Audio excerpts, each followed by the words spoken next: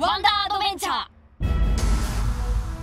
ゴンこのゲームはハンターハンターの世界を追体験できるんだ。へえいろんなエピソードが入ってるんだね。ああストーリーを進めながらフィールドに隠されたトラップを解いていくんだ。例えばこの柱を動かして丸太の階段を登るだろう？んうん。で周りを見渡すとあゴンお前の釣り竿を使って木のつるに引っ掛ければほら移動もできるんだぜ。すげえこれクジラ島だ。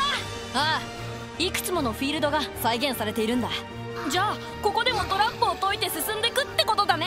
それだけじゃないぜ。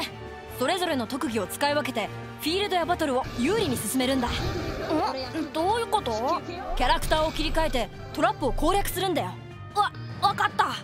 絶対分かってねえだろ仲間と協力しないといけないところもあるってことだよ。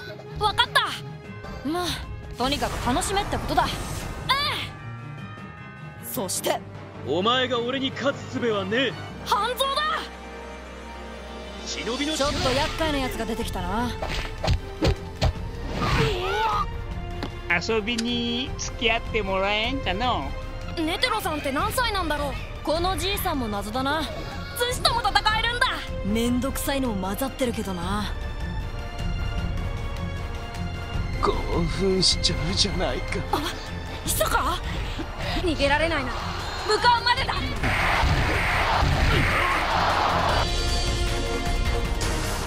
その他にもミッションをクリアして報酬を手に入れたりアドホック機能で友達との協力プレイも可能。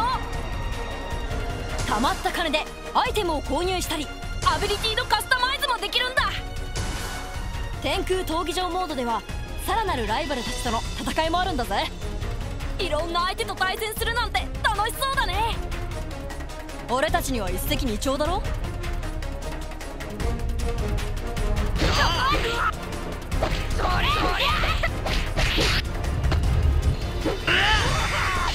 行くか。ちょっと痛いよ。ゴンこのゲーム思った以上に楽しめそうだな。うん。キルは俺絶対もっと強くなるよ。